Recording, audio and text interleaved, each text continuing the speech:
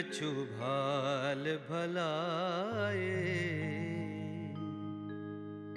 नीच निरादर, भाजन का दर कुकर टोकनी लागे ललाए।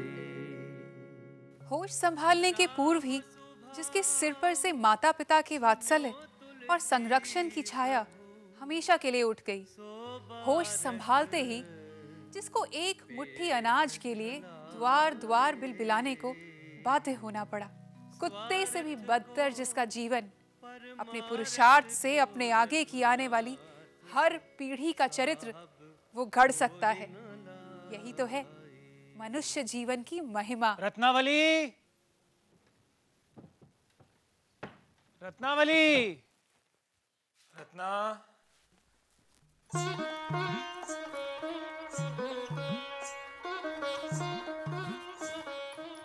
आप जल्दी आ गए।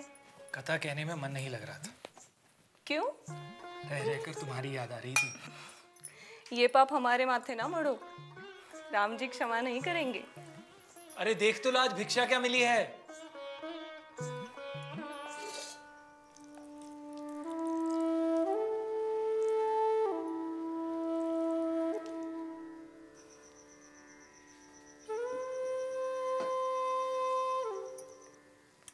टुकुर टुकुर क्या देख रहे हैं?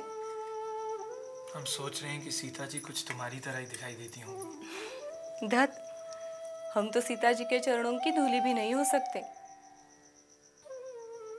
कहीं आप भाँग तो नहीं खाने लगे ना? हम सच कह रहे हैं रत्ना।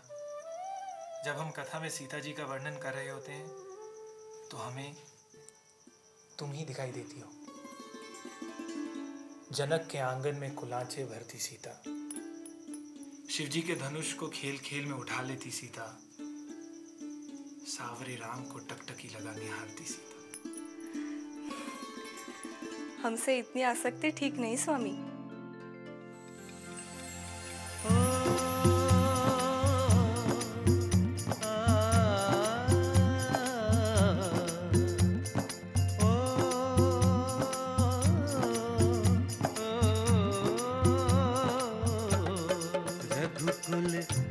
प्रगटे हैं रघुवीर,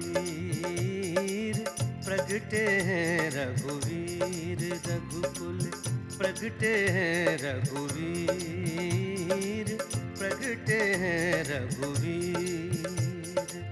देश देश तेटी को आयो, देश देश तेटी को आयो रतन कनक मनीर रघुकुल प्रगटे रघुवीर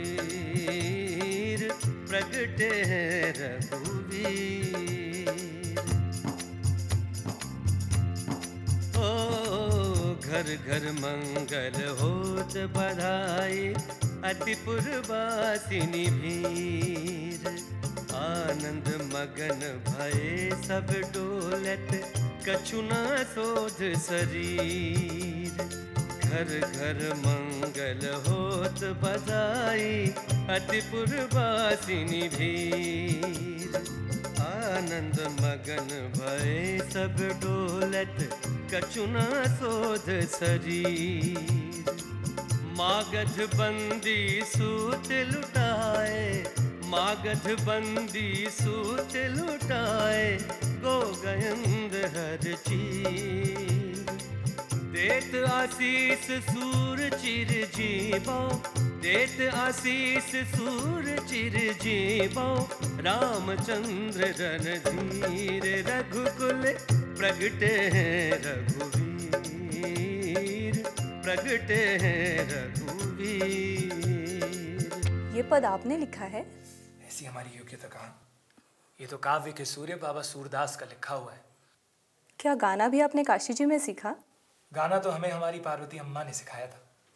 पर हमारी अम्मा ने तो बताया था कि आपकी अम्मा आपके जन्म के कुछ घंटों बाद ही गोलोक चली गई थी। फिर उन्होंने आपको हमें जन्म देने वाली हमारी माँ हुलसी थी। लोग कहते हैं कि हम अभागे थे।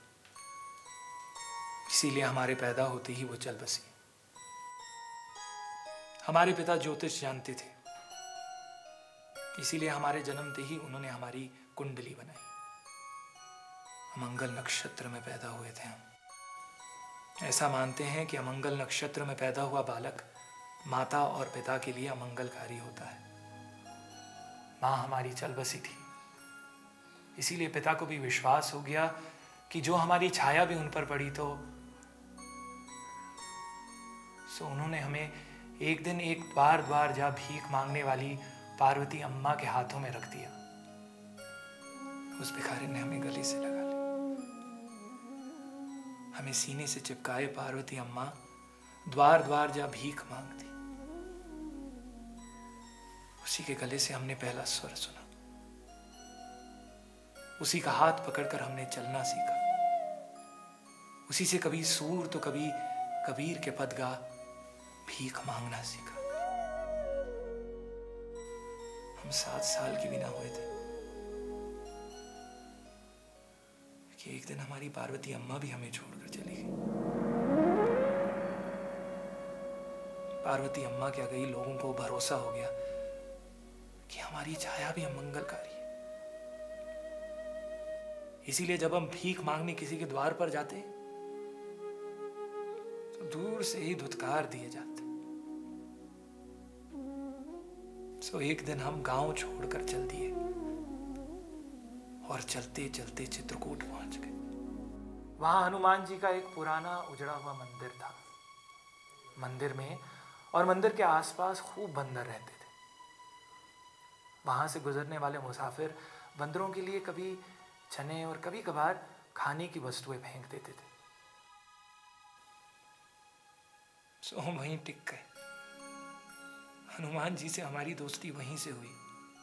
पार्वती अम्मा से जो सुना था, वही गाते, चने खाते, बंदरों के साथ रहते, हनुमान जी की सेवा करते। पर हम कहा जानते थे कि उस अभागे तुलसी के भाग्य में भी विधाता ने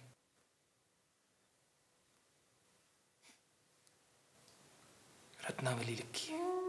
दत्त। तुलसीदास के जीवन के अभावों को रत्नावली ने भावों से भर दिया। जल्दी ही उनके आँगन में नन्हा तारापति खेलने लगा। दोनों खुश थे कि एक दिन तुलसीदास कथा कहे घर लौटे। अरे भौजी तुम? यहाँ द्वारे पर क्यों बैठी हो? हम तुम्हारा ही इंतज़ार कर रहे थे तुलसी भैया। रत्नावली का भाई राखी के लिए उसे लिवाने आया था। सो भौजी एक रात के लिए अपने मायके गई है।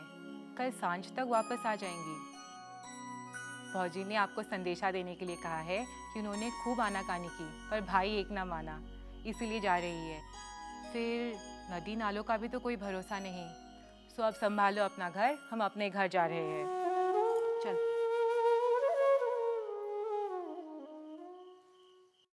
तुलसीदास को नींद नहीं आ रही थी। रत्नावली के स्पर्श का अभाव उन्हें विचलित कर रहा था। और सोचे समझे बिना वे आधी रात को रत्नावली से मिलने अपने ससुराल दौड़ पड़े।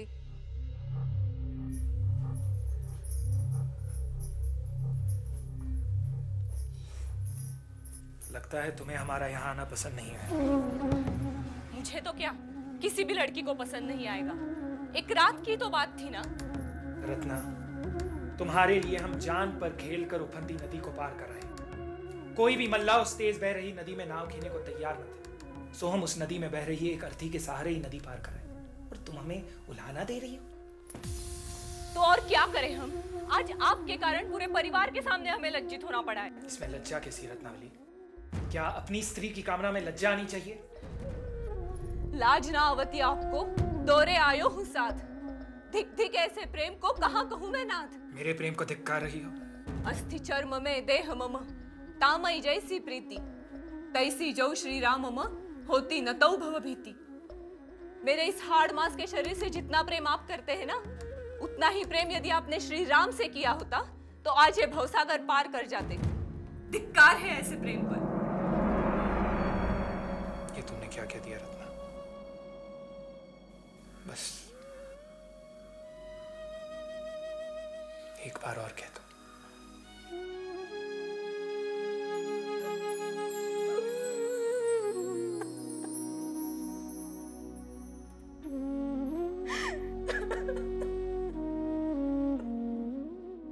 अस्ति चर्ममय देह मम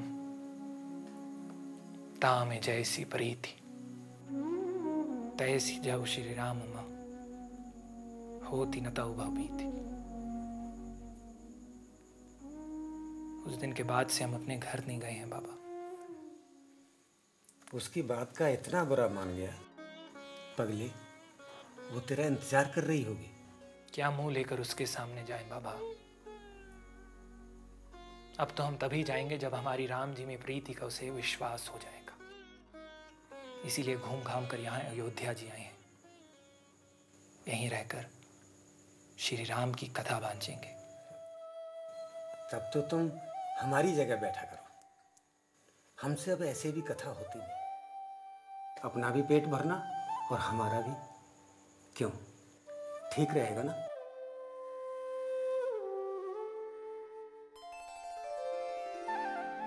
और हमारे तुलसीदास को अयोध्या जी में राम जी के दरबार में रहने की जगह मिल ही गई।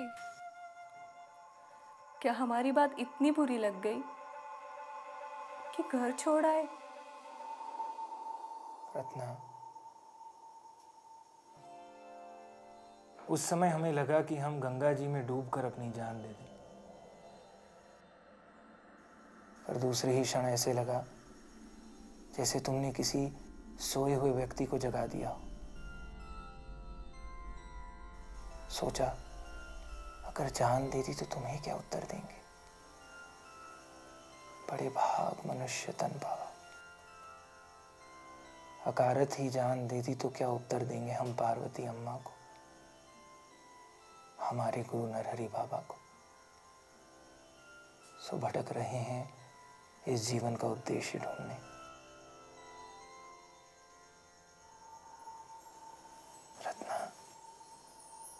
क्या सोच रहे हो तुलसीदास? खुद से अकेले अकेले ही बात कर रहे हो? पूरी अयोध्या जी में तुम्हारी चर्चा हो रही है कि खूब कथा बांचता है बाबा का चेला तुलसीदास।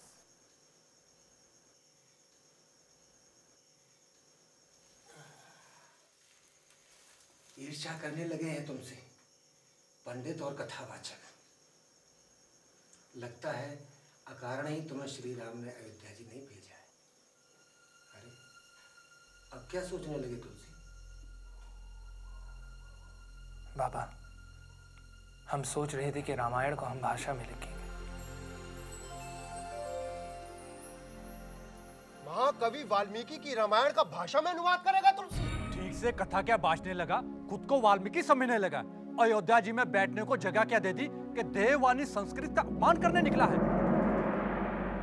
कान खोल कर सुन लो बाबा। जो तुम शांति से जीना चाहते हो अपने इस पाखंड शिष्य को कह दो कि यहाँ से चला जाए। नहीं तो सर यू नदी में इसका अंतिम स्नान करवा देंगे। ना पोथी पत्रा उठाओ और निकलो यहाँ से वरना तुम्हारी खैर नहीं। और भागा तुलसीदास एक बार फिर अयोध्या जी से उखड़ कर काशी पहुँचा।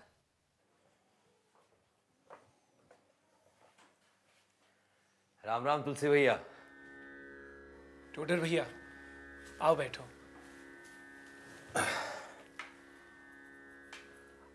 आप सुख से तो हैं तुलसी भैया। आपने हमारे सुख से रहने का इंतज़ाम कर दिया है। अब हमें और क्या चाहिए? एक बात पूछे तुलसी भैया। पूछो। इतना विरोध सहकर भी आप ये रामकथा भाषा में क्यों लिख रहे हैं? क्यों काशी के पंडितों से आप दुश्मनी मोल ले रहे हैं? स्वांत सुखाय टोडर भैया, स्वयं के सुख के लिए, राम में हमारे विश्वास के लिए, उस आदर्श में विश्वास के लिए जिसके लिए महाकवि वाल्मीकि ने देववाणी में रामायण लिखी। युगों युगों से उन्होंने हमें और देश को राम की याद दिलाई है। आज हम घर घर को राम की याद दिलाना चाहते हैं। टोटर भैया हमारी पार्वती अम्मा थी, पर कौशल्या जैसी माँ न थी, दशरथ जैसा पिता न था, लक्ष्मण भरत शत्रुघ्न जैसे भाई न थे। जिस युग में हम पैदा हुए, यहाँ राम का राज्य न था। पर जिनके पिता हैं, जिनके भाई हैं, वह क्या कर रहे हैं? राज्य के लिए पुत्र पिता की हत्या करता है। राज्य के लिए भाई भाई से द्रोह करता है। सुख के लिए।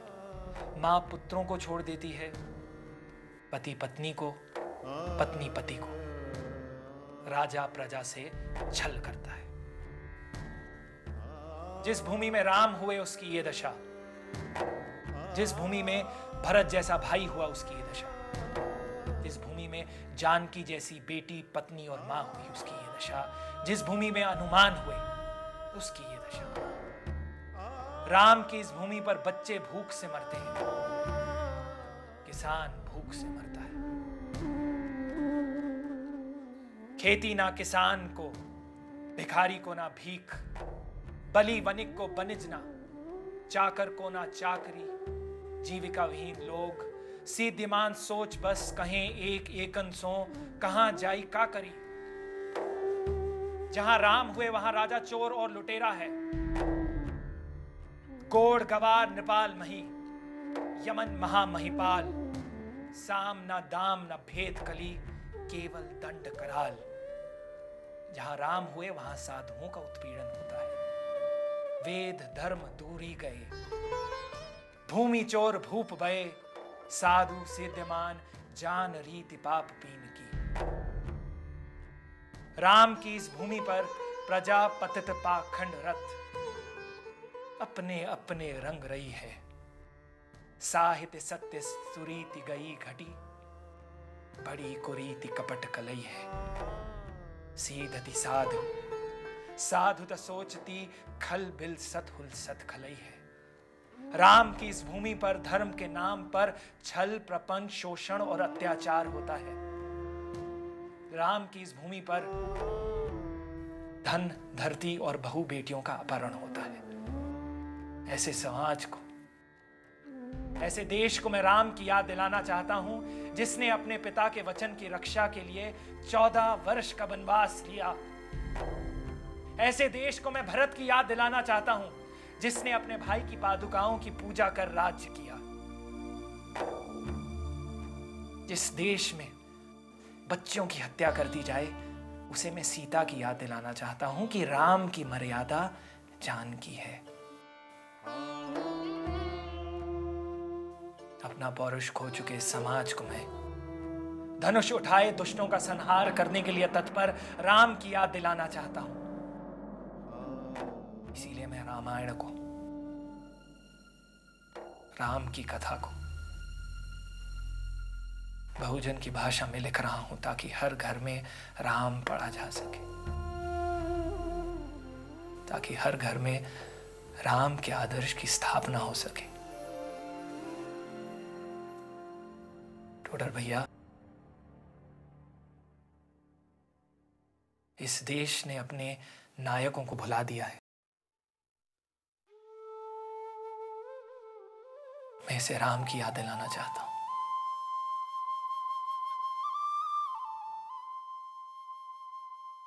लो सुनो। अभी अभी लिखा है नया सोटा उमा राम गुण गूढ़ पंडित मुनि पावही बिरती। पावही मोह विमूढ़ जे हरि विमुख न धर्म रति। महान है मनुष्य जीवन की महिमा। अभावों में पले बड़े कबीर ने देश को झंझोड़ा। अंधे और दरिद्र सूरदास ने देश को भक्ति रस में डुबोया। और भीख मांग कर जीवन का प्रारंभ करने वाले तुलसीदास ने देश को जगाया। जन्म लेते ही जीने के लिए संघर्ष करने वाले तुलसीदास से लेकर मृत्यु पर्यंत राम के आदर्शों की स्थापना करने वाले तुलसीदास ने भारत का चरित्र गढ़ा। यही तो है मनुष्य जीवन की महानता। वाल्मीकि रामायण पर आधारित चित्रकूट की रामलीला अथवा नाटी इमली की रामलीला की जगह तुलसीदास ने रामचरित मानस पर आधारित रामलीला का प्रारंभ किया। रामचरित मानस के अलावा रामलला नेहचू वैराग्य संदीपनी, बरवे रामायण, पार्वती मंगल, जानकी मंगल, रमाज्ञा प्रश्न, गीतावली, दोहावली, कवितावली, कृष्ण गीतावली और विनय पत्रिका की रचना कर महाकवि तुलसीदास ने मानव जीवन की असीम संभावनाओं को उजागर किया।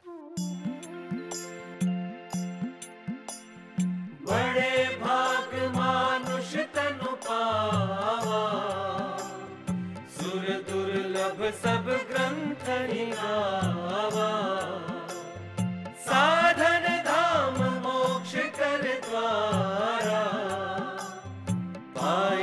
पाइन जही पर लोक सवारा।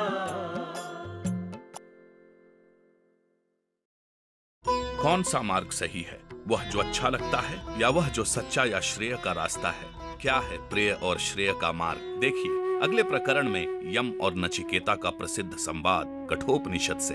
यस्य प्रसादात्